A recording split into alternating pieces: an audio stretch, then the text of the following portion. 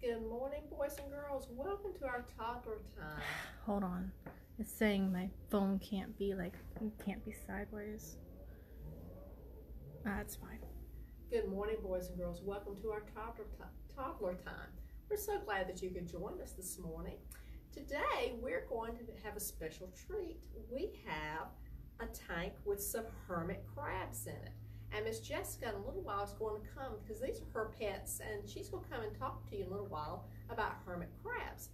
Now, with school kind of starting back and things like that, then we kind of think of summer kind of winding down. We're in August and some of you may have gone to the beach this summer or maybe have plans uh, before Labor Day going to the beach. And when we go to the beach, we think of ocean, we think of waves, we think of seashells, all kinds of seashells and critters that, that live on the beach and things like that. And here we have, here we have um, all types of shells and things that come from the beach. And so you might like to go along and pick up shells on walking on the beach and uh, feel the waves coming in. So uh, decided that we would talk a little bit about hermit crabs today. Now I have a book called Hector the Hermit Crab. But before I get into that, our craft, our craft today is going to be uh, making a hermit crab out of paper plate. You need scissors, crayons, glue, maybe wiggly eyes, and maybe some construction paper, okay? So that's going to be our craft today, all right? All right, Hector the Hermit Crab.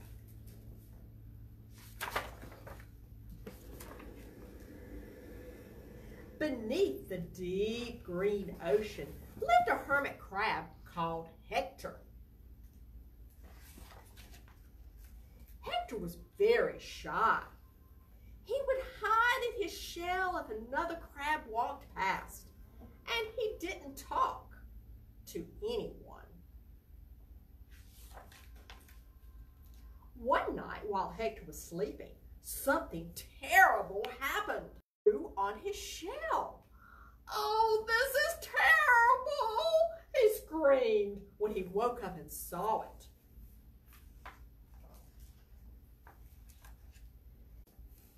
All right, it's back. Hector tried everything to get rid of it. He squashed, he poked it, he sawed it, he chopped it, and pruned it, and repotted, and stopped. More flowers were beginning to grow, and they were getting bigger, bigger, and bigger. No, he cried, get off my shell. But nothing worked. Hector was so tired and and miserable after all his hard work that he went straight to bed. To Hector's dismay in the morning, when he peeked out of his shell, he saw that a whole crowd had gathered around him. Hector tried to tiptoe off, but the crowd followed him.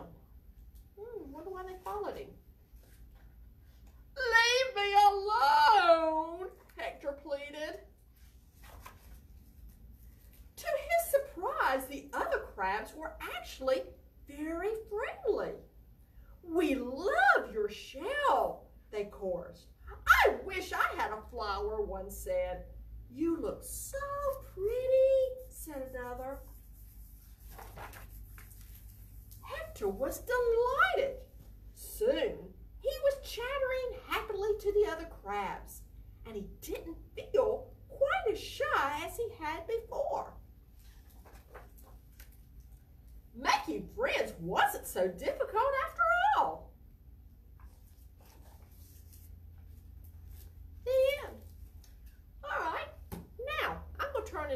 Miss Jessica's going to come and talk to you about hermit crabs, her pets, which you know would be just an ideal pet because I understand there's not a whole lot of care. It's not kind of like a dog and a cat that you have to feed all the time and brush and give shots to and all this. So she's going to talk to you a little bit about the hermit crab.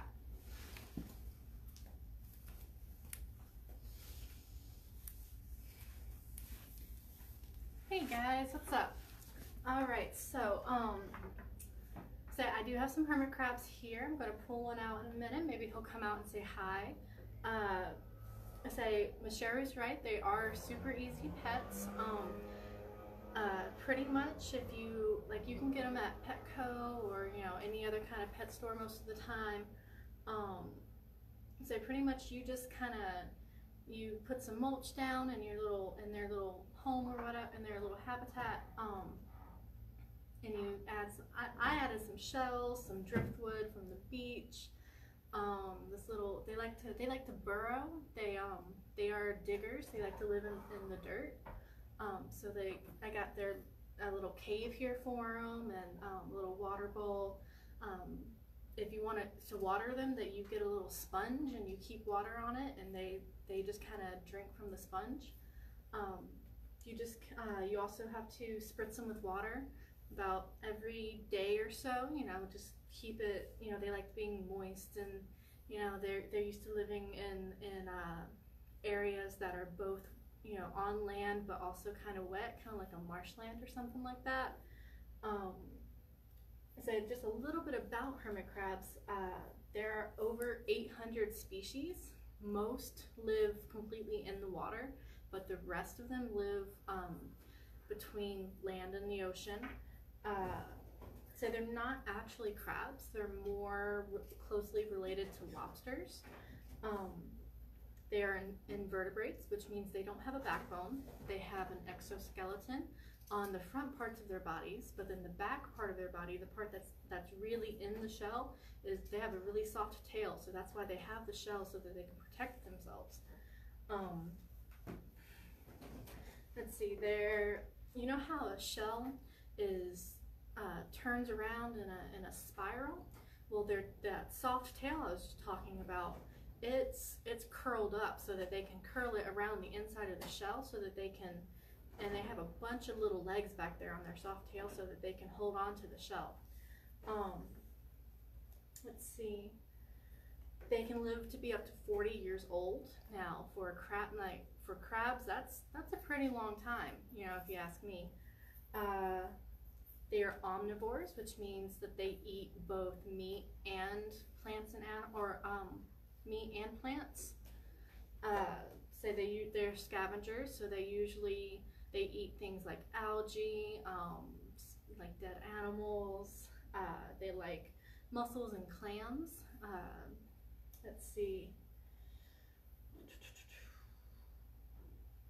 Um, when they find a new shell, so hermit crabs like to live in groups. So I actually have two hermit crabs in here, so that you know they're not lonely. They have a little friend, and I might get some more.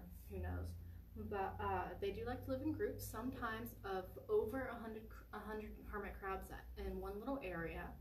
Um, when a hermit crab finds a new shell, they will actually uh, all the hermit crab they, they will share the shell with all their little friends, and who which whatever crab fits in that shell the most or the best, that crab will get his shell. But then he'll hand his his previous shell down to the, the next smaller crab. So they're kind of they kind of you know swap shells around, and they don't grow their own shells. They use shells from other animals. Um, let's see, got some other little notes here. Um, well, I guess I will go ahead and mess it. Yeah, he's starting to come out here, so I'm gonna Yeah, I pick him can up. see him moving now. Yeah, so if you want to, if you ever get a hermit crab, I don't know if you guys can see me, but you just lightly pick up their shell on the sides so that he can't pinch you. And if you want to hold him, you just place him in your hand. Now, what's really cool about hermit crabs is they can actually climb up trees and things like that. Even though he doesn't have hands, he has the little the legs and and spins uh, little pinchers and stuff. But he their pinchers are You so want to come closer and let let him just look at him Here, up let me show close. you You can guy. hardly see. All right. Can Yeah. you see him? Yeah, I kind of see him. Yeah. Yeah. You see him kind of crawling, boys and girls. Yeah. Yeah, He's I really see his cool. legs. He feels yeah. kind of he feels kind of weird, but uh, yeah. You know he won't hurt you. His little claws are so small, he can't really do anything to you. Yeah, isn't that neat, boys and girls? How And he's if you- moving. And if you hold, um, try to hold them every day, then they get more used to you, and they and they're they're pretty okay with you. They're pretty, see, I kind I moved my hand too quickly, so I kind of spooked him. He'll come back out in a minute. But um, say if you get one or two, I would suggest getting them a friend. You know, they don't want to be lonely. They like they like their their friends. But um,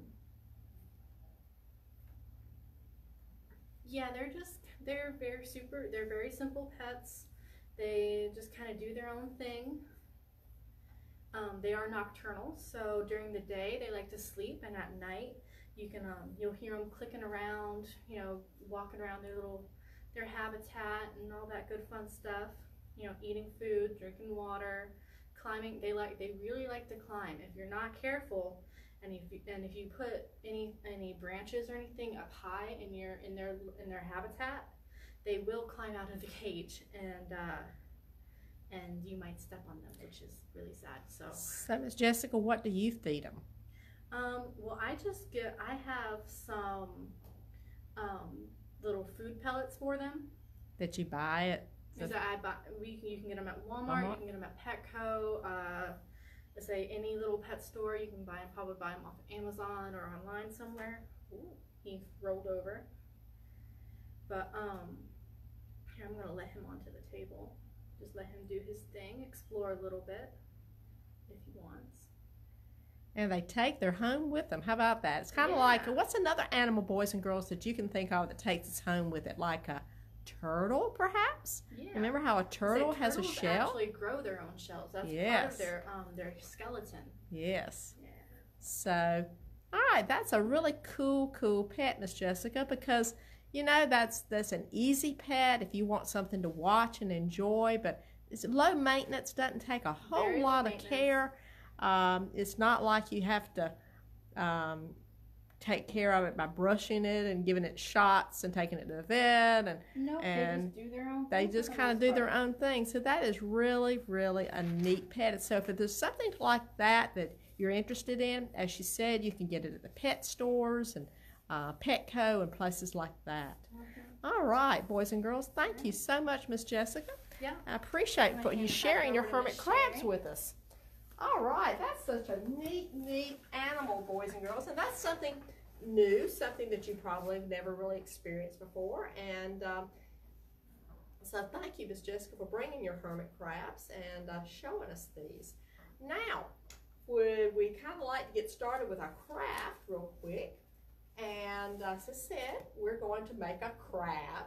Oh, he's he's really active now. He's climbing up on the rocks, so she's got him going now. All right, we're going to take a piece of uh, paper plate, and we're going to kind of do this kind of like we did the spiders a few weeks ago. We're going to take it, and I'm going to take. Now that hermit crab is sort of a reddish color. Some of them could be red. Some of So them he's got some purple brownish. on him. He's kind of And cool. I'm just going to take a brown crayon. You can take a red crayon, brown crayon, and I'm going to turn my paper plate over, kind of like that. And I'm just going to start coloring my paper plate all over. Okay, kind of like we did with the spiders, because, you know, um, remember we said that spiders have, remember how many legs did we say a spider had? We had a, said a spider has eight legs. We said insects have six legs. And when I was reading, I think that I remember reading that hermit crabs can have about five pairs of legs. Something that I was reading, I don't know, but we know that they use some of those legs to help hold themselves, hold the shell on, and the little tail and everything.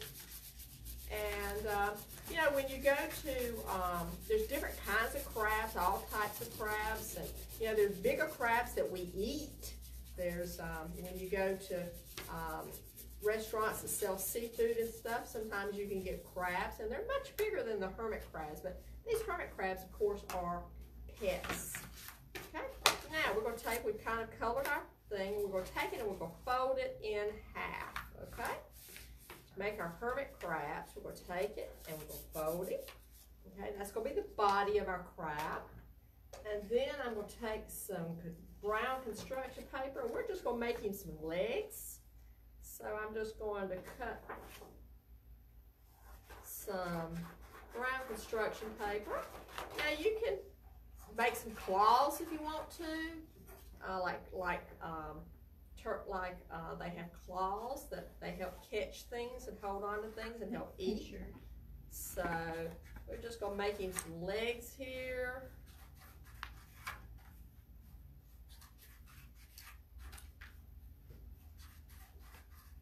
Alright, I just cut about five here. And then we're gonna take and take our glue and put it down here. Oop, Do my legs. Um,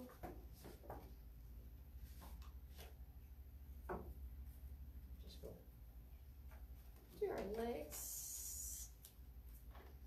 My glue's gonna hold.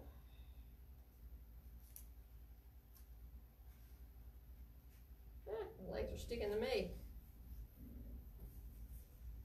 Okay, I'm just gonna put some legs there. Here's my legs on a crab.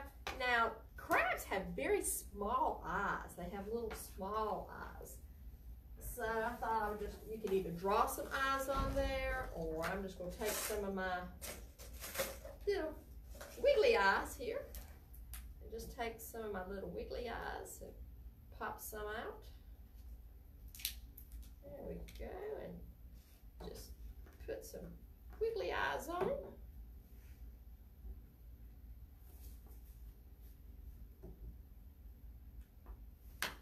And well, and there we have our we have made our little crab.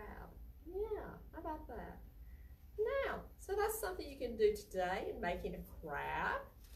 And um, so now today we've learned a little bit about hermit crabs. That they might make a good pet if you want something that doesn't take up much space and doesn't require a whole lot of care. And we appreciate Miss Jessica coming and and sharing her hermit crabs with us today and tell, showing us something new. And uh, maybe when you go to the beach, maybe you might look for crabs.